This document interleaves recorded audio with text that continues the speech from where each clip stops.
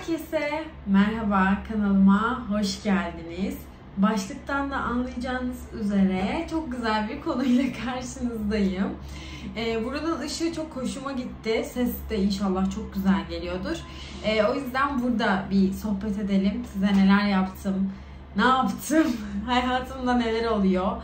Ee, işle ilgili gelişmeleri hemen anlatacağım. Nasıl buldum, e, nereden buldum, nasıl yaptım hepsini anlatacağım. Öncelikle e, tekrardan kanalıma hoş geldiniz. Nasılsınız? İnşallah çok iyisinizdir, çok sağlıklısınızdır. Çok salgın var. Lütfen herkes kendine dikkat etsin. Özellikle çocuklara birazcık daha dikkat edelim. Çünkü en çok onlar etkileniyor. E, hepiniz inşallah sağlıklısınızdır. Başlıktan da anlayacağınız üzere hemen konuya giriş yapayım. E, işe girdim, evet.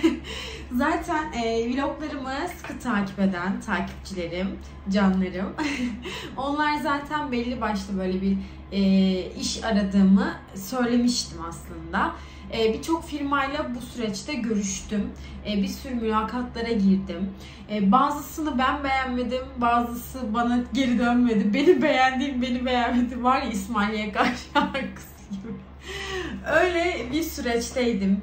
Ama sonunda e, her iki tarafında birbirini sevdiği ve beğendiği bir işe girdim arkadaşlar. Öncelikle sürecin başına size hemen böyle bir özet geçeyim. Ben ne, ne yapıyordum, ne işte çalışıyordum ve nereye girdim, e, pozisyonum vesaire hemencecik kısa bir bilgilendirme yapmak istiyorum.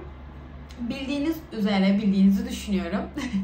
e, ben Özgü Duru'dan önce yani e, 2016 yılında bir katılım bankasında çalışmaya başladım. İnsan kaynakları eğitim departmanında çalışmaya başladım. Ee, orada uzman yardımcısı, uzman yardımcısı olarak girdiğim pozisyona uzman terfi aldım ve uzman oldum. Sonrasında işten ayrıldım.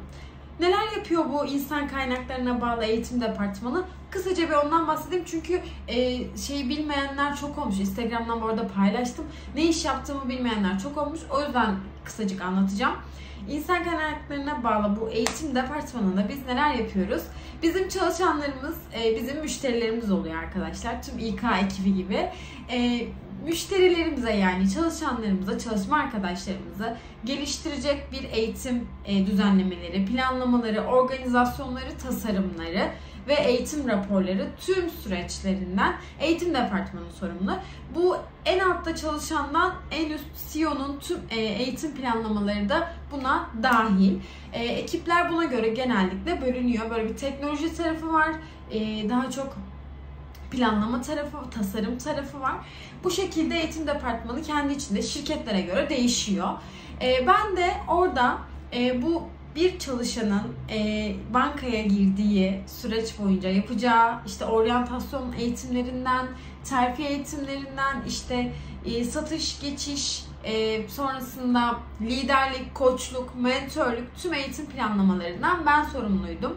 Bu eğitim planlamalarının içeriklerinin tasarlanması, planlamaların uygulanması, eğitimden sonra bir raporlamaların yapılması, gelişimine nasıl katkı sağladığına dahil e, ve en sonunda böyle bir e, eğitim sürecinin sonunda e, nasıl bir gelişim yapabiliriz, nasıl bir geliştirme yapabiliriz bunların tasarım süreçlerinden sorumluydum ve yaklaşık bir 4 yıl kadar bu departmanda görev yaptım. E, sonrasında Özgü Duru'nun e, doğması, sonrasında işe geri dönmem, bir deneme çalışması işte yapabiliyor muyuz vesaire. E, bu süreçlerden geçtik biliyorsunuz zaten. Ancak Özgü Duru'nun çok küçük olması, e, Sevil annem ve annemin yazın köye gidecek olması vesaire vesaire birçok sebeplerden dolayı e, işten ayrılmak durumunda kaldım. Hatta e, istifa sürecimle ilgili bir video var. Çok kısa böyle o videoyu da şu anda buraya koyalım. Bakalım neden istifa etmişim? O zamanlar e, bir iki yıl önce neden işten ayrılmışım? Onu bir izleyelim tekrardan görüşelim. Severek ayrılıyorum maalesef. Bunun sebebi de şu. Aslında bir sebebi yok baktığınızda. Birçok sebebi var. Öncelikle biliyorsunuz e, yaz olması itibariyle Sevil annemler de, benim kendi annemler de köye gidiyor. Fındıkları var, bahçeleri var. E, bu korona döneminde Murat da çalışmadığı için bir şekilde idare ettik. e, uzaktan çalışma vesaire idare ettik.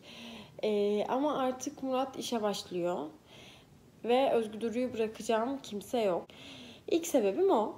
İkinci sebebim bu arada bu kararı vermek için aylarca düşündüm. Gerçekten yani işe başladığım günden beri düşünüyorum zaten. Çok zor biliyor, biliyorsunuz. Çok zor olduğunu anlatıyorum her seferinde. Özgü'den ayrı kalmak, onun büyüdüğünü çok fazla görememek, yaşadığı anları yaşadığı anlara tanık olamamak, e, yürüdüğü zamanı, emeklediği zamanı görmeden uzaktan telefondan izlemek gerçekten çok üzücü. O yüzden psikolojik ben de kendimi daha fazla yormadan hayatımın odak noktasının iş değil kızım olduğunu belirterek bu kararı verdim. Diğer bir sebep de buydu. Bu sebepleri düşündüğümde e, aldığım bir karar bu. Ama ben şöyle düşünüyorum. Kurumsal hayata tamamen veda etmedim. Sadece kısa bir ara veriyorum. Özgüdür'ü en azından kreş yaşına gelene kadar kurumsal hayata böyle bir ara vereceğim. Sonrasında tekrardan çalışmak istiyorum. Çünkü çalışmayı gerçekten çok seviyorum. Ve e, çalışmanın verdiği o mutluluğu da çok özleyeceğim muhtemelen. Evet, o gün söylediğim her cümleye birebir hala katılıyorum ve e, gördüğünüz gibi e, söylediklerimin de arkasındayım. Kariyer hayatıma gerçekten çok önem veriyorum. Bunun sebebi birçok yere kendi böyle tırnaklarımla kazıyarak gelmiş olmam. Hiçbir şey böyle önüme bir altın tepsiyle sunulmamış olması. İyi ki de öyle olmuş. Çünkü savaşmayı, çabalamayı, sürekli kendimi geliştirmeyi bu sayede öğrendim. Ve bunu kolay kazanmadığım için kolay da kaybetmeyeceğim.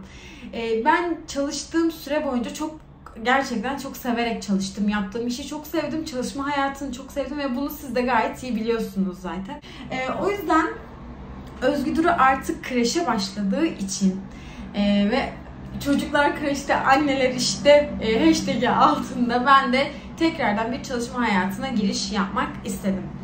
E, LinkedIn ve kariyer.net'ten CV'lerimi güncelledim ve bana uygun pozisyonlarda iş aramaya başladım de, başta söylediğim gibi bazı firmalarla anlaşamadım, beğenmedim. Çünkü kurumsal bir yerde çalıştığım için ve kurumsal bir şirkete geçmek istiyorum. Neden kurumsallık bu kadar e, hani önemli derseniz kurumsal bir şirkette çalışmanın çok avantajı var. Bir kere çalışanlarına çok değer veriyor. Yan hakları çok iyi. Gerçekten memnun kalıyorsunuz. İşte ikramiyesidir, primidir, işte servisidir, yemeğidir vesaire. izin günleridir. Her şey sistematik bir şekilde belli ve bir aile şirketi e, sizi bir tık daha zorluyor. E, ama kurumsal şirkette öyle bir şey yok. Haklarınız dediğim gibi çalışan için kurumsal şirketler çok iyi oluyor ve yeni iş aradığınızda da kurumsal şirketten deneyimli olmanız sizi açıkçası 2-0 öne geçiriyor. E, bu yüzden ben de LinkedIn'den başvuru yaptım ve bir e, Türkiye'nin en büyük medya kuruluşunda e, eğitim yöneticisi olarak bazı şirketler yönetmen diyor, bazıları yönetici diyor. Ben size ortak bir dile yönetici diyeyim. Eğitim yöneticisi olarak yine insan kaynaklarına bağlı departmanında görevime bu hafta itibariyle başladım. Sürecim dediğim gibi LinkedIn aracılığıyla oldu. Beni çağırdılar. Önce bir online mülakat İK'yla sonrasında grup müdür, e, sonrasında departman müdürü ve direktörle bir yüz yüze mülakat. Sonrasında bir envanter, sonrasında geldi öyle oluyor. Her bir sürü aşamadan geçtikten sonra e, artık ben de bir e, çalışan olarak karşınızdayım. Bu arada şirketin ismini vermememdeki sebep ee, bir sıkıntı olur mu hiç bilmiyorum. Çünkü bu bir medya şirketi, bir e, yasak vesaire. Bu konuları konuşmadık. O yüzden net bir şekilde söyleyemiyorum. Allah isteyen herkesin, iş arayan herkesin gönlüne göre versin. Rabbim tez zamanda güzel haberler, güzel e, fırsatlar herkese nasip olsun. Bu şekilde benim de nasibimde burası varmış ve burada çalışmaya başladım. Sabah 8.30 akşam 5.30 gibi çalışıyorum ama iş yeri karşıda. Yol konusu birazcık sıkıntılı. Şöyle servisle gidip geliyorum ama servisten önce bir şey binmem gerekiyor. Evimin önünden bir e, minibüs geçiyor. Ona biniyorum. Gerçi o 2 dakika sürüyor. Sonrasında servisteyim zaten. Gidişte çok rahat bir saat yakın gidiyoruz ama dönüş yolu yaklaşık bir iki iki buçuk saat sürüyor. Ee, şirkette en çok zorlandığım konu bu ama alışacağımı düşünüyorum zamanla. Onun dışında ekip arkadaşlarım çok iyi, e, ekip çok iyi Kurum çok iyi öncelikle. Gerçekten kendinizi değerli ve mutlu hissettiğiniz bir yerde çalışıyorum. Şimdilik bu şekilde söyleyebilirim. Çok fazla da deneyimim olmadı açıkçası. Yol konusu evet sıkıntılı ama, onu da atlatacağımı düşünüyorum. Ee, en güzel yanlarından biri mesela özel sağlık sigortası var. Bu gerçekten çok önemli. Çünkü çalışmadığım süre boyunca e, bu birazcık böyle beni bir tık hep böyle aklımdaydı. Şimdi sigortam olsaydı hiçbir şey ödemeyecektim vesaire. O çok iyi. Zaten yemekhanesi müthiş. Zaten bununla ilgili bir video gelecek. Şirketi böyle ismini göstermeden böyle bir çalışan annenin bir iş günü, bir günü ya da bir onunla ilgili de bir video paylaşacağım inşallah. İş hayatımı da size detaylı bir şekilde anlatmış oldum. İnşallah canınızı sıkmamışımdır, sıkılmamışsınızdır videoda. Direkt böyle bir anlatma, detaylı anlatmak istedim ki e, iş yeriyle direkt başlasaydım iş yerini gösterme vesaire kafalarda çok soru işareti olacaktı. Nerede çalışıyorsun, ne yapıyorsun, işini değiştirdin mi, farklı bir iş mi yapıyorsun gibi. Aslında aynı işi yapmaya devam ediyorum. Bir tık e, ünvan farkı e, bu kariyer hayatıma devam ediyorum bu şekilde. İnşallah videoyu beğenmişsinizdir. Videoyu burada sonlandıralım. Ha bu arada bu Instagram şey YouTube vesaire onu da hemen anlatayım. YouTube tarafında yani e, bir gün boyunca o kadar hani bütün günüm işte geçtiği için akşam da zaten yemek ye, özgürlüğüyle vakit geç, vakit geçir, Murat'la vakit geçir derken vlog çekemiyorum hafta içi. Böyle parça parça çekip haftada bir yine de vlog paylaşmak istiyorum sizinle. Ee, öyle bir e, isteğim var. Bazen olur bazen olamaz. O kısımda artık eskisi gibi söz veremiyorum. İki günde bir vlog gelecek diyemiyorum. Ama haftada en az bir video paylaşmayı istiyorum ve bunun içinde çabalayacağım diyebilirim. Ama bu süreç birazcık yorucu bir süreç. İlk bir ay, bir buçuk ay. E, işe adapte olma süreci, alışma süreci, Özgü Duru için de çünkü e, biraz sıkıntı yaşıyoruz açıkçası. Başka bir videoda onun da detaylarını anlatırım. Bir pedagogla görüşüyorum. Eee değişik huylar edinmeye başladı ben işe girdikten sonra. Onunla ilgili de sıkıntılarımız var ama bu video çok böyle konuşma konuşma geçtiği için e, sizi de daha fazla sıkmak istemiyorum. O süreçleri de inşallah başka bir videoda e, tamamen geçmiş bir şekilde, başımdan geçmiş bir şekilde, geride kalmış bir şekilde anlatırım inşallah. Ama e, zorlandığım için çok böyle e, video çekebileceğimi düşünmüyorum. Dediğim gibi haftada bir böyle parça parça e, belki ne giyindim, e, giyin kombi videolarım, hazırlık videolarım, e, bir dediğim gibi bir annenin bir günde işte yaptığı işler, çalışan bir annenin vlogu falan gibi video başlıklarıyla karşınızda olmak istiyorum. Güzel dilekleriniz için şimdiden çok teşekkür ederim. Ee, tekrardan şunu duasıyla kapatayım. Rabbim kimin gönlünde ne varsa inşallah nasip etsin. Ee, benim mutlu olduğum bir dönem, zor e, zorluk yaşadım ama aynı zamanda ruhsal olarak kendimi çok iyi hissettiğim bir dönem. Çünkü çalışmak bence e, yani bana öyle söyleyeyim başkalarının adına konuşayım.